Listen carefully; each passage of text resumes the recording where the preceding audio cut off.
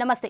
Welcome to political bench అధికారంలోకి రాగానే jet స్పీడ్గా నిర్ణయాలు తీసుకుంటూ పాలనను పరుగులు పెట్టేస్తున్న జగన్ తనతో పాటు గెలిచిన నూట యాభై ఒక్క మంది ఎమ్మెల్యేలకు కూడా పదవుల పందరం చేస్తూ అందరినీ సంతృప్తిపరిచే పనిలో పడ్డారు. ఇక పార్టీ కోసం కష్టపడిన వారికి నామినేటెడ్ పదవుల పంపకాన్ని ఇప్పటికే చేపట్టారు. గడిచిన ఎన్నికల్లో తన వెంట నడిచిన కాపులకు జగన్ గిఫ్ట్ ఇచ్చారు.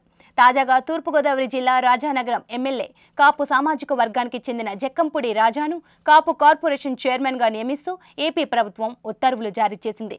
ఈ పదవిలో రాజా రెండేళ్ళ పాటు కొనసాగనున్నారు. జక్కంపూడి రాజాకి కాపు కోటాలో మంత్రి పదవి దక్కుతుందని వైసీపీలో మొదటి నుంచి ప్రచారం జరిగింది.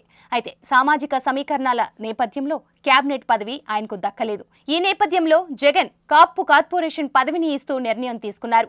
జక్కంపూడి రాజా తండ్రి రామ్మోహన్ వైఎస్ రాజశేఖర్ రెడ్డికి అత్యంత సన్నిహితుడు. అందుకే జగన్ ఏరి కోరి రాజాకు ఈ పదవి కట్టబెట్టారు. ఇక కాపు చైర్మన్ కోసం చాలా మంది కాపు ఎమ్మెల్యేలు మాజీలు పోటీ పడ్డా రాజాకే జగన్ పదవిని ఇవ్వడం విశేషం. ఇటీవల ఎన్నికల్లో జగన్ కాపులకు పదివేల కోట్లు ఐదేళ్ళలో కేటాయిస్తామని వారి రిజర్వేషన్లపై పోరాడతామని హామీ ఇచ్చారు. ఆ నేపథ్యంలో కాపు కార్పొరేషన్కు ఈ బడ్జెట్లో రెండు వేల కోట్లు కేటాయించారు. ఇప్పుడు చైర్మన్ పదవిని భర్తీ చేయడం గమనార్హం.